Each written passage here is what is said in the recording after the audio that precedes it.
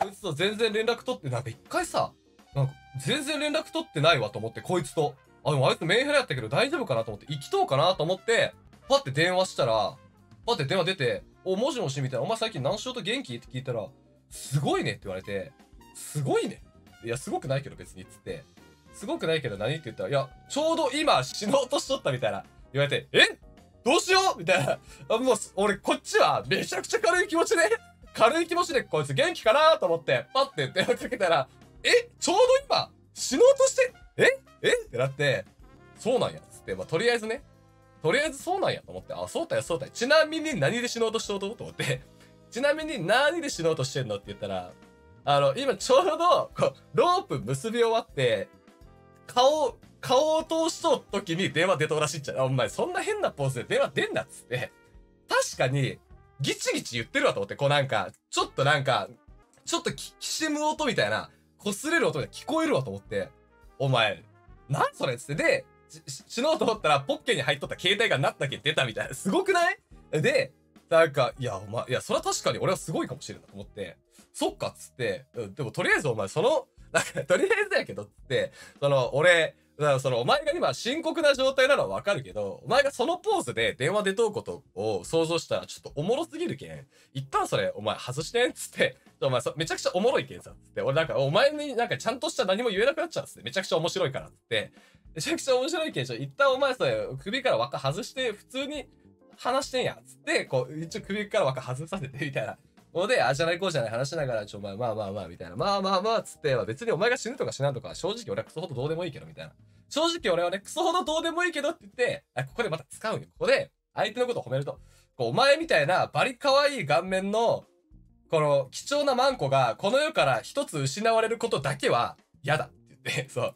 正直お前が生きようが死のうが俺の人生には関係ないけどどうでもいいぞつって。でも、そのお前みたいな顔面のいいマンコがこの世から一つ消えるのはマジで惜しいと思うわつって。だけど死ぬならちょっともう一回だけセックスしてからにしてくれんっつって。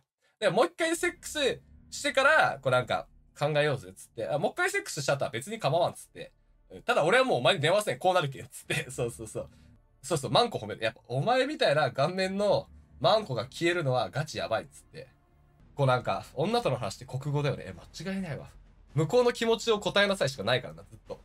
そうそうそうそう。で、その、俺がボーイになった経緯は、この地元のね、バリ怖い先輩がおって、で、その先輩に18歳の誕生日の頃に、なんか、お前、キャバクラ連れてってやるよって言われて、おごってもらえるって言いながら行ったら、そのまま裏まで連れて行かれて、俺。で、あの、こいつ明日から働けるんでよろしくお願いしますって言われて、お、お前明日から働けるんか？って言われて、俺も明日から働けますって言ってよくわからんかったけん。ねできますって言って、からもう速攻社員やったよ。社員やったっちゃうんですあ、あ、ケツもちょっとよ。そうで、社員やったっちゃう。もう次の日から社員。バイトとかじゃない。社員。18歳、高校3年生、ボーイの社員で、そう。あ、俺明日から社員やんと思いながらで、社員になると、もう月給やけん、むちゃくちゃ使われるわけよ。登場人物全員明日から働けるしか言ったら間違いない。そう、なんか、俺だってわけわからん。おごってもらえるテンションで言ったら、明日から働けって言われたんだから、油やかと思った。千と千尋の神隠し。はい、働けます。まあ、名前取られんかっただけマシやなと思いながら。で、この、社員になると、なんか、もう、月、月給やけん、時給じゃないけん、ガチャガチャ使われるわけよ。だから俺が、その時、働いとったのは、夕方5時。夕方5時、あ4時くらいかな。いや、5時。4時か5時、5時かな？5時に、とりあえず、会社の事務所まで行って、おはようございます。挨拶して、んで、キャバクラまで行くやん。で、5時から、え、えっと、8時まで、清掃と、えっと、朝食を取るわけよ。な、あの、店の中でね、パクパクパクってご飯食べて、で、んで、8時からオープン。で、オープンの、えっと、クローズ1時とか2時。1時かな？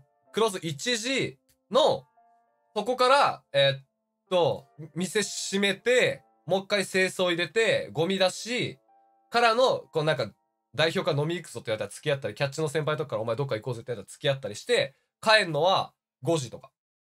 だけマジ12時間ぐらい、毎日。そうで、月給2日やけん。やばくない？月給2日。クソブラックな部分はここだと思います。月給2日です。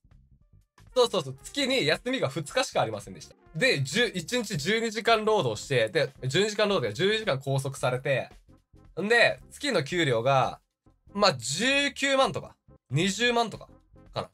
とんでもないよ。そう。とんでもない。で、ミスったら暴力振るわれる。ミスったら、オリックスの暴力振るわれる。ちなみに。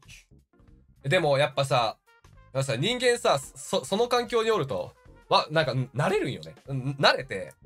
で、俺は、こうなんか、あなんか代表がさ、出勤したらさ、ちょ、ま、これでさ、みたいな、缶コーヒー2本と、みたいな。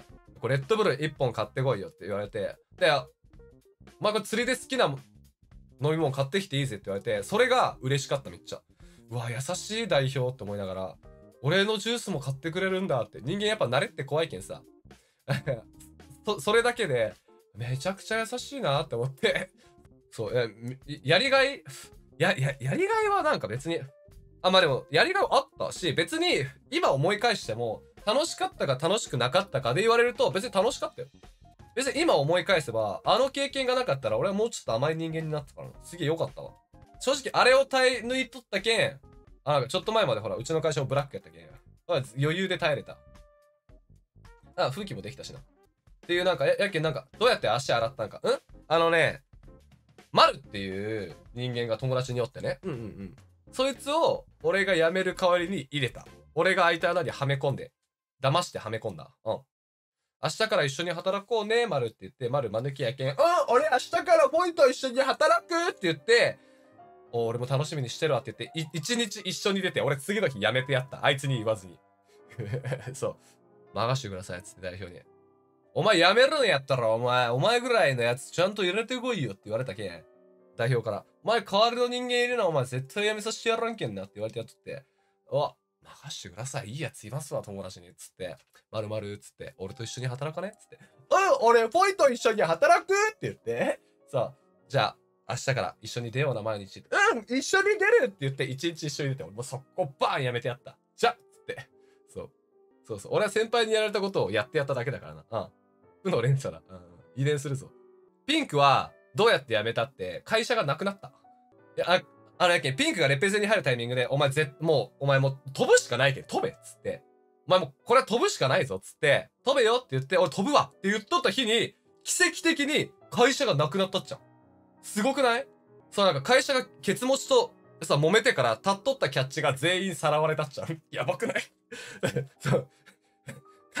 会社の頭がケツと揉めて、むちゃくちゃ揉めて、で、立っとったキャッチがその日の夜全員さらわれて、会社がノーなった。幹部連中が全員飛んでから、ノーなった。やばくない？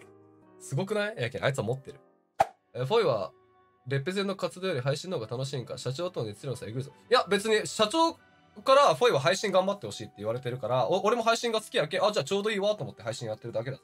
だから、まあそもそもレペゼン、俺は一緒におりたいけさ、メンバーとは。やけん、まあ今一緒におらんけん、普通に寂しいけど、まあそやけん、どっちかっていうと俺は、50%自分が楽しいと思う気持ちでやってほしい。もう50%は社長から与えられた役目だから、そうそうそう。っていうその50%、50%でやってる。でも正直今、好きだからやってるが7割ぐらいあるわ。で、3割やれって言われたからやってる。まあでもどっちみちやってるからな。やれって言われたから始めたけど、なんか俺がそれでめっちゃ楽しかったから、そう。まさかこんなに楽しいとは思わんかったけんさ。ツイッチ来て本当に良かったって思ってるんだわ、普通に。ちょっとさ、これ相談あるんだけど、うんちするときってさ、おしっこするやん、最初に。パって座ったらさ、うんちする前、おしっこピューって出るやんか。こんぐらいか。2ヶ月に1回とか、3ヶ月に1回ぐらい、うんちの時に、おしっこ最初にピョーってしてうんちするやん。で、うんちが出た後に、もう一回フルのおしっこが出ると、ぴょーって。あれ何？え、あるよねなんか、たまーにない？これなんか、え、あるよね？あ、よかったここの奴らはあるわ俺これさ、LINE ライブで話した時、そんなんねえわって言われまくって、クソ不安な気持ちになりよったっちゃ何これって。でもおしっこがいっぱい出るのは多分いいことやん。あるよね？あ、あるやついるわよかったえ、あるよね？いや、ざ、残尿なんかな？残尿にして、そのなんか、あの、友達以上恋人未満みたいなおしっこ出る。このなんか、残尿以上本尿以下みたいな。なんかわ、わかる？なんか出るんよ。年齢層の違いだわ。多分、老いだわ、普通にこれ。わかった。LINE ライブでそんなやつおらんかったけど、今、ここにおるってことは、年齢層の違いやけん。多分、ただの老いだわ。安心したわ。なんだ、老いか。よかったよかった。ないやつは一緒。な、わかるわかる。で、あるやつがじじいなだけ。あ、悔しい悔しい。でも俺ももうじじいだからよ。傷舐め合おうぜ。